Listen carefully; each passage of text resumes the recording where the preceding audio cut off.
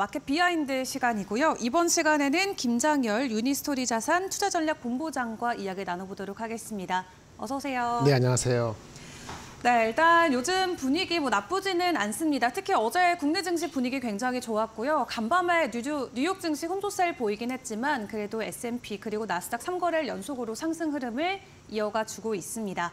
아무래도 실적에 집중을 하면서 실적발 호조, 호조세를 저희가 보여주고 있는 것 같은데 네네. 간밤 뉴욕 증시 분위기 어떻게 보셨을까요? 아, 예. 그 어, 어, 오늘 새벽은 보합이었어요. 네. 올라- 오르고 내리고 없었고 좀 전에 앞전에 그 앵커님이 얘기한 것처럼 메타 실적의 실적 아, 그 시, 시간외에서 발표되는 거 관련해서 그 반응이 좀 어, 나왔죠. 그것이 있고 특별한 건 없었습니다. 특별한 건 없었고요. 어, 그냥 이제 본격적으로 오- 오늘 아, 메타 발표되는데 오늘도 지금 발표되겠죠. 아마도 인텔하고 마이크로소프트가 오늘 밤에 발표되는 거 내일 아침에 발표돼요. 그리고 네. 한국 시장으로는 장 시작하기 전에 하이닉스가 실적을 발표하지 않습니까? 그래서 본격적으로 하이닉스 포함해서 빅테크의 실적이 발표되는데 기대감과 경계감이 혼조하는 것 같아요. 네. 보세요. 이제 실적 발표에 포커스 둔다고 앵커님 말씀하셨는데 정확히 말하면 실적에 포커스 두는 게 아니에요. 어, 테슬라가 12%가 그동안 한 열흘 동안 쭉 8일 연속으로 빠지다가 네. 어저께 일거에 다 8일 연속 빠진 걸 다 메꿔서 어, 그러니까 15일인가 12일 날 주가로 다시 돌아갔거든요. 네, 실적은 더 나빴죠. 나빴죠. 예. 근데 그럼 실적에 포커스 둔게 아니잖아요. 그렇죠. 그럼 뭐 포커스 됐어요? 말에 포커스 맞아요. 됐죠. 예. 좀 이따 말씀 건하고 네. 메타는 메타 실적이 좋았죠. 잘 나왔어요. 네. 어, EPS는 한 9%더 더 나왔거든요. 그 내용도 했는데 guidance가 나쁘다는 것 때문에 포커스는 주가가 12% 빠졌어요. 네. 근데 guidance가 진짜 나빴을까요? 이게 range를 줬어요. 300 몇십오 불, 300 몇십오 불 range가 있거든요. 그 밑에가 있고 위가 있을 거 아니에요. 네. 그렇죠. 중간 값을 보통 취하잖아요. 예, 어딘지 모르는데 중간 값을 취하면 한 2% 정도 miss거든요. high를 치면 더 높아요. 네. 근데 12%왜 빠졌을까요? 그러니까 사람들이 지금 하면 굉장히 민감한 거예요. 예. 그러니까 실적 나오는 일반 1분기 실적 하면 그 실적은 별로 그다지 중요하지 않다. 물론 실적이 나쁘게 나오면 어, 보통은 안 좋은데 꼭 그렇지도 않다. 그래서 오늘도 약간 걱정감, 기대감이 동시에 있는 게 하이닉스에 대한 실적도 엄청나게 기대치가 높아졌거든요. 한 2조 5천억, 2조 6천억, 2조 7천억까지 있어요. 그 officially 찍히는 거는 1조 7, 8천억이지만 그거 나오면은 대폭락입니다. 그쵸. 그러니까 2조 한 3, 4천억, 누구는 whisper number로서는 3조도 나올 수 있다. 이런 얘기가 나오는 그 기대감이 오히려 걱정이 되는 거예요. 네. 그렇다고 삼성 하이- 하이닉스는 우리 미국과 달리 어 1분기는 그런데 2분기는 얼마예요? 스스로 예측은 안 해주거든요. 그 느낌만 주는 거죠. 과연 그래서 어, 실적이 잘 나와도 느낌이 애매하면은 또 빠질 수도 있고 이런 그래서 어, 이번 주 하루하루 또는 아침장, 오전장, 오후장이 다를 수 있다는 측면에서 지금 귀추가 주목되는데요. 중요한 거는 어저께 오른 거는 심플리 어, 간단하게 그냥 PMI라는 지수가 예상보다 낮게 나왔다는 거에 대한 안도감이에요. 그렇죠. 이게 bad is good이 bad is good. PMI는 구매자, purchasing manager index거든요. 네. 이게 사실은 정확히 까먹었는데 그 구매 담당자가 제조업체하고 서비스업체 있을 거 아니에요. 매달 설문조사예요. 막 질문한다고요. 그럼 자기네들이 이렇게 얘기하는 거 수치화하는 건데 50 이상이면 경기가 좋다는 거고 50 이하가 안 좋은 건데 계속 50 넘- 넘어 있었거든요. 그리고 이 4월 달에 어, 제조업 PMI 그 원래 예상하는 것은 한 52로서 전월보다 약간 올라가는 51.9에서 51 올라가는데 오 49.9가 나왔어요. 그럼 뭐죠? 아 경기 둔화 시그널로 익힐 수 있는 예상 밖의 넘버가 나온 거예요. 그러니까 PMI 지수 그저께 무슨 다른 분이 나와셨는지 모르지만 PMI 지수 이번 주 어저께 있는데 그거 잘 유심히 봐야 돼요라고 얘기한 어, 매니 저기 있나요? 이 세상에 아무도 없었거든요. 그만큼 덜 중요해서 원래 예측대로 했는데 항상 50 넘었으니까. 근데 이게 어 우리가 바랐던 것들 금리 인하를 한 번이나 제로가 아니고 네. 다시 또 두 번으로 하려면은 경기 다운되거나 그렇게 해야 되는데 그거 중에 하나가 될 수 있는 게 예상하지 않은 게 튀어나오다 보니 어저께. 그러니까 한국장이 그동안 많이 빠진 반도체 중심으로 가장 민감한 그런 쪽이니까 이차 전지도 포함해서 확 올라간 거다. 이렇게 볼 수 있는 거라서 PMI 때문에 많이 내려간 거로 올라갔다고 보여지고요. 삼성전자가 대표적인 대한민국 장이니까 올라가고 하이닉스는 오늘 실적에 대한 기대감이 있어서 어, 한껏 올랐는데 아까 말씀드린 것처럼 하이닉스 실적이 넘버가 잘 나온다 해서 반드시 주가가 세다는 거.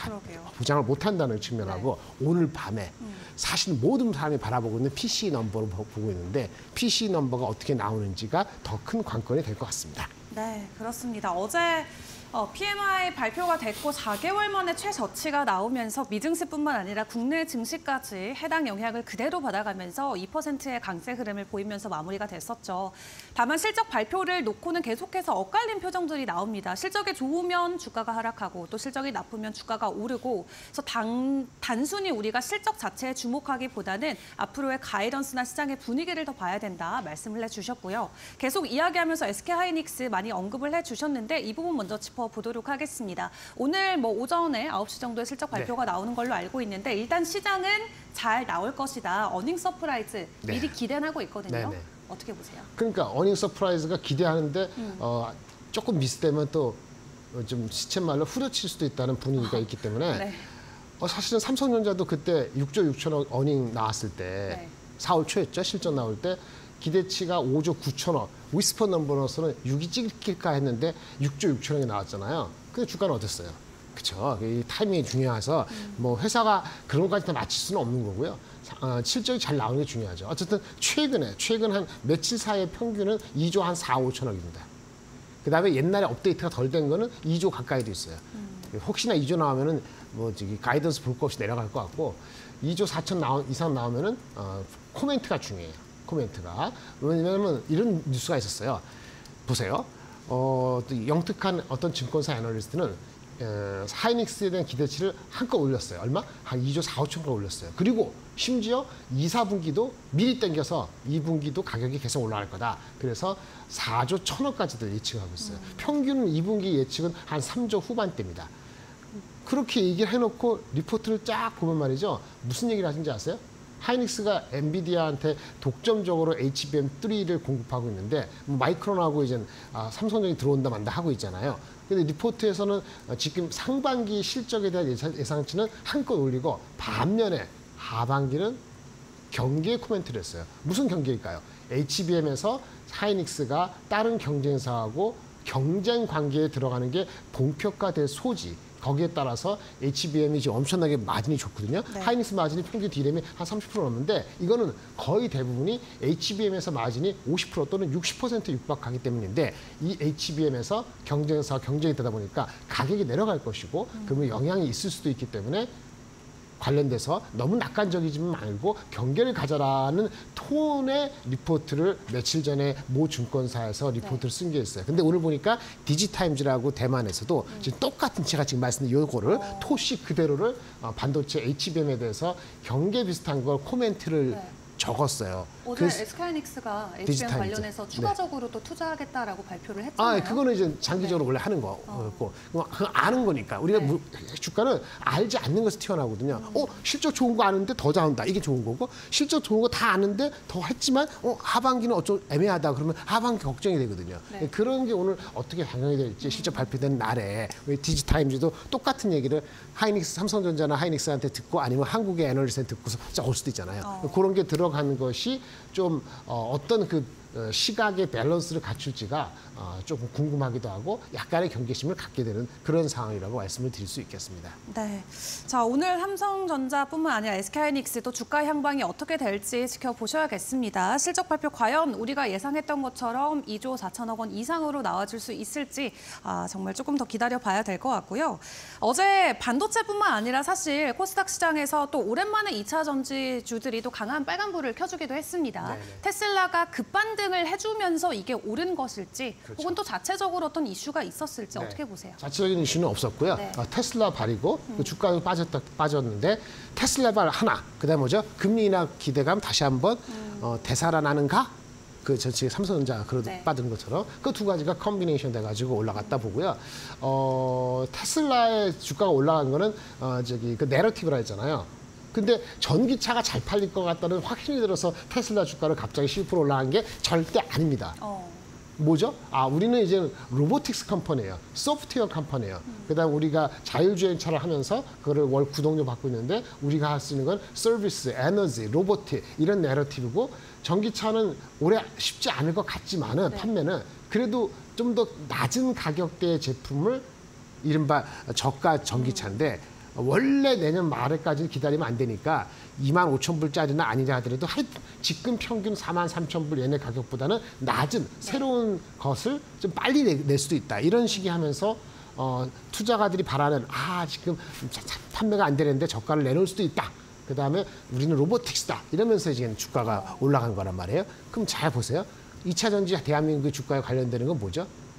로보틱스하고 걔네 구독하고 관계 있나요? 관계 있을 수 있겠죠. 나중에 몇 년 뒤에는. 근데 지금 그 관계 없잖아요. 우리는 장- 당장에 전기차 판매가 잘 돼야 되잖아요. 근데 전기차 판매에 대해서는 어, 테슬라가 여전히 올해는 터프 이어. 그러니까 작년보다는 성장이 많이 떨어진다는 걸 봤기 때문에 어저께 그걸로 올라간 부분이 많다면은 그거는 일부 덜- 되- 되돌릴 수도 있다라고 말씀을 드릴 수 있겠고 금리 인하가 되면은 금리 인하가 빨라지면 어떻게 되죠? 모든 그 지- 구매 아, 저기 이렇게 어 이- 이런 그 저기 돈을 많이 쓰는 제품에 대해서는 판매에 대한 기대치가 조금 올라갈 수도 있지 않습니까? 그것 때문에 올라갔다고 보셔야 될 것 같다고 그 말씀을 드릴 수 있겠어요. 그래서 핵심의 근간은 어 이제 테슬라는 어, 한 열흘 전에 올라갔는데 140, 160불인가 170불 정도요. 네. 그 정도에서 더 올라가느냐가 이제 중요한 거고 한국은 한국대로 놀아야 되는데 핵심은 현재 나오는 전기차가 가격을 많이 덜 빠지면서도 출하량이 좀 늘어나는 시그널이 보이면은 그때부터는 전기차 관련돼서 어, 2차 전지주가 어, 커플링이 더 쉽게 편안하게 되겠죠. 지금은 아주 편안하게 지속된다고 어, 장담드리기는 조금 어려운 국면입니다. 네.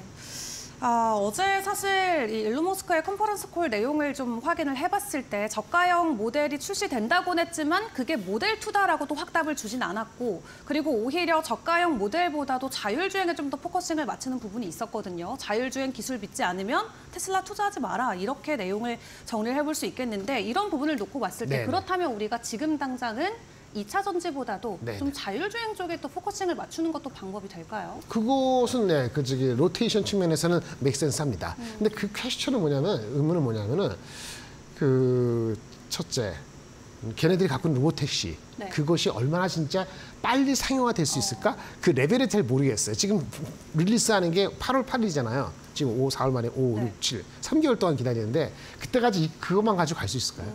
물론 그러니까 그 자율주행 관련되는 우리나라에도 관련된 종목들이 있는데. 네. 개별적으로 어느 전기차 아니면 어떤 그 자정 자율주행 자율주행차 아, 아니 자동차 업체하고 네. 어떠한 전략적 제의를 원래부터 해오고 있었는데 올해 하반기에 어느 단계로 좀 높아지더라라는 구체적인 로드맵이 숨어져 있는 회사들이 있습니다. 근데 그렇지 않고 단순히 자율주행에 엮인다는 측면에서 올라가는 건 그것도 이제 용두삼인이 아니더라도 오래 지속되지 못할 수 있어요. 그래서 차라리 진짜 자율주행이 잘 되고 보면은 현대차나 기아가 자율주행 그 어떤 준비를 하고 있다면은 네. 뭐 현대 오토에버나 이런 주식에 대한 관심을 가질 수도 있는데 현대 오토에버도 어저께 좀 많이 오르긴 했죠. 근데 장기적인 관점에서 중장기적으로 한 2, 3년을 본다면은 현대 오토에버나 현대차 기아가 그런 측면에 도움을 받을 수도 있어요. 그런데 의심스럽죠? 테슬라도 잘 못하는데 현대 기아가 할 수 있을까? 아, 현대 오토에버는 자율주행이라 하지만 내비게이션 기반으로 돼서 하는 레벨이 다르기 때문에 자율주행이 제대로 되려면 레벨 3 넘어서 4 돼야 되는데 어저께 나 보니까 메르세데스 벤츠인가 거기서 레벨 3 나온다 하더라고요. 그런 측면에서 우리가 헤드라인 뉴스 나오는 거하고 그게 주가에 반영되는 정당성하고는 만만치 않다. 그래서 어, 어제 나온 거 며칠 더 갈 수 있으면은 장기적인 시장에서의 어, 소프트웨어는 괜찮지만은 개별 종목은 개별 그 전략적 관계가 되어 있는 회사들을 면밀히 보시고 출자하셔야 되고요. 그런 회사의 가장 큰 단점 뭐냐면 이렇게 잘 나가다가 갑자기 유상증자가 들어갈 수도 있어요. 이거 자율주행은 돈이 들거든요. 그런 측면에서 만만치 않다는 겁니다. 그래서 실적에 대한 거 말고는 우리가 실제 봐야 되는 거는 투자를 많이 한다는 게 중요해요. 잠깐 딴 얘기를 하면은 네. 메타가 아까 실적 실적 가이던스 실적은 좋았고 2분기 가이던스가 약간 매치 어쩌고저쩌고 빠졌잖아요. 네. 근데 뭔, 뭔 얘기 나온지 아세요? 우리한테 중요한 건 그게 아니에요. 네. 메타 광고 회사니까 얘네가 올해 그 얼마나 투자를 할 것이냐는 투자 넘버를 얘기한 게 있어요. 얼마나 올해 예측을 350에서 400억 불을 투자한다고 얘기했어요. 근데 원래 예측이 300에서 370억 불이었어요. 그 전에. 그럼 뭐죠? 투자를 증가시키는 거죠. 네. 그 증가 왜 시키느냐? 얘네들이 영어, 영어 그대로 하면 accelerate infrastructure investment to support our AI roadmap. 아, AI를 위해서. 그렇지. 네. 그럼 어떻게 돼요? 그럼 오히려 좋은 거죠. 이 관련되는 써- 그 저기 투자에 대한 어, 낙수 효과를 받는 게 중요하잖아요. 근데 표면적으로 메타가 실적이 좋았는데 2분기 가이던스 낮다서 10% 빠지는 거 쫄아가지고 그걸 팔면 바보 되는 거죠. 어, 뭐 무슨 얘기인지 아시죠? 네. 그러니까 그 이면을 봐야 되기 때문에 그런 게 그날 당장에 플러스 마이너스 된다 해서 그것이 답이 아닐 수도 있다. 이 측면을 행간의 뜻을 읽으시는 것이 더 중요하지 않을까라는 말씀을 드리겠습니다. 네, 좋습니다. 어제 자율주행 관련해서 라이콤 또 상한가를 가기도 했지만 지금 당장 이슈에 집중하기보다는 앞으로 또 면밀하게 검토할 부분들은 체크를 해보자 말씀을 해주셨고 메타와 관련해서도 우리가 더 큰 그림에서 앞으로 또 어떤 쪽으로 투자를 늘려가는지 어떻게 보면은 주가의 상방을 우리가 기대해 볼 수 있는 모멘텀들은 어떤 것들이 있을지 잘 분별하는 시각이 필요하다 말씀을 해주셨습니다. 자, 여러 가지 이야기들 함께 나눠봤습니다. 하지만 아직 저희가 성적표를 다 받아보지 못한 기업들도 대거 남아있기 때문에 앞으로의 실적 발표를 놓고 우리가 어디 쪽으로 또 눈을 돌려야 될지 미리 생각을 해봐야 될 것 같거든요. 네, 네, 네. 그 실적은 중요한 실적이 안 중요한 게 미니멈 미니멈 리퀘어먼트고 네. 가이던스하고 그 의미, 행간의 뜻을 알아야 되고요. 더 중요한 건 네. 이것이 우리가 이- 예상했던 거하고 벗어나는 게 중요해요. 예상 한, 한도 내에서 나면 주가는 움직이지 않고 전체적인 거 제가 일주일 전에 왔는데 금리 인하가 두 번 되느냐 안 되느냐가 중요합니다. 금리 인하가 두 번, 그러니까 7월이나 9월 되는 거면은 아마 장 자체는요, 서포터가 될 거예요. 2,600, 저번에 2,500까지 전쟁 때문에 한 번 갔다가 내려온 문제 있잖아요. 그거는 다시 안 올 가능성이 있어요. 그런데 이, 이게 뭐 금리 인하 세 번 한다든지 아니면 7월에 한다든지 아니면 진짜 한 행간에 업체가 tech가 10개 있는데 한 7개 정도가 모- 모두 다 surprise 이런 게 아니면은 2,700, 800이 쉽게 가는 장도 아니에요. 그런 약간 애매한 거기 때문에 어, 시장에서 장, 바- 발을 빼는 것도 리스크하고 그렇다고 뭐 현금 비중을 10%도 안 내고 몽땅 지금 막 뭐 실적 1위 1비에서 하는 것도 지금 그럴 장은 아닙니다. 그래서 오늘 삼성 하이닉스 발표되고 다음 주 슈퍼마이크로 발표되고 네. 우리가 그 저기 PCE 발표되면 삼성전자가 말하는 것도 5월 1일 날 쉬기 전날 나오잖아요. 그리고 5월 1일 날 FOMC 미팅이죠. 네. FOMC 때 QT 네. QT 나오잖아요. QT. 그 큐- 우리가 다음 주니까 그 QT 끝나거든요. QT에 대해서 어떻게 얘기하느냐 이런 걸 하고 나서야 본- 본격적으로 방향이 up이든 아니든 그때가 방향이 크게 up 안 되고 그냥 옆으로 갈 수도 있어요. 지금은 중립적인 시각으로 보시는 게 전체적으로 맞다라고 저는 강조를 드리고 너무 넘버 하나하나에 일일이 연연 안 하시면 좋겠습니다. 지금 실적 시즌이긴 하지만 결과적으로 중요한 거는 금리 인하 시기가 되겠습니다. 그래서 이제 PCE도 발표가 되지만 지금 연준 안에서 앞으로 금리 인하 기조를 어떻게 가져갈지를 우리가 주목을 해보자 숫자에 일일비하지 말자 말씀을 해주셨고요. 그렇다면 어, 연준의 어쨌든 FOMC 발표 직전까지는 저희가 뭐 지속적으로 시장에 대한 어떤 관망세를 이어가는 게 맞을지 어떤 스탠스로 또 바라봐야 되나요? 아까 말한 것처럼 투자, 투자가 계속 되는가. 메타도 그렇고 오늘도 전 마이크로소프트하고 인텔이 실제 밤에 네. 발표된단 말이에요. 어, 투자가 어떻게 하느냐, 포커스되는 게 유지되는가. 그냥 PC, 그 내일 밤이네요. 어, PC 넘버가 예상보다 낮게 나오면 좋은데 어, 그런 그런 게 가장 중요합니다. 오늘 밤 나오는 실적과 코멘트, 내일 밤 나오는 PC가 당분간은 훨씬 중요하죠. 물론 다음 주도 있지만은 그래서 네. 그거에 초점 맞춰서 어, 장중에 뭐 이상하게 한 1, 2, 3% 1, 2% 1, 2% 1% 이상 빠지면은 기회인가를 봐야 되고 어, 뭐 너무 세게 계속 간다. 그러면 아 오늘은 내가 투자할 기회가 놓쳤거나 아니면 그럴 수 있기 때문에 사실은 오늘 개인하는 거는 어저께 어떻게 투자하는 가 잡은다는 거지 오늘 아침 시작해가지고 오늘 아침에 따라가거나 오늘 아침 판다고 수익이 나는 게 아니기 때문에 어, 그러니까 대응을 한다는 것도 다음 주에 뭐가 있다는 걸 알고 대응을 하는 거지 네. 오늘 뉴스 받고 오늘 투자하는 거는 팔든 사든 간에 그건 그다지 의미가 안 됩니다. 그러니까 플러스 2% 이상 한국 시장의 가격이 아주 만만치 않은 매크로 환경이고 네. 마이너스 2%갈 정도로 저번에 이스라엘처럼 전쟁이 지속 확대되지 않으나 그렇게 빠질 room도 없어요. 왜? 주식 시장 자체가 우리 리, leading company가 이미 조정을 받은 상태이기 때문에 그게 뭐 2% 이상 빠질 게 뭐가 있겠어요. 그래서 환율이 1,400 이상 그다음에 유가가 뭐 한 86불에서 90불 가는 거 동시에 일어나는 게 아니면은 어그 그 red signal을 너무 세게 할 필요는 없다. 이렇게 말씀을 드리는 밸런스가 필요하지 않을까 네. 말씀드리겠습니다. 이미 또 많이 눌려 있는 만큼 추가적인 가격 하락보다도 앞으로 우리 시장의 환기가 되어줄 수 있는 모멘텀은 뭐가 있을지 함께 기다리면서 투자 포인트 체크를 해보시죠. 오늘 본부장님과 도움 말씀 저희 여기까지 함께 해보도록 하겠습니다. 수고하셨습니다. 네, 감사합니다.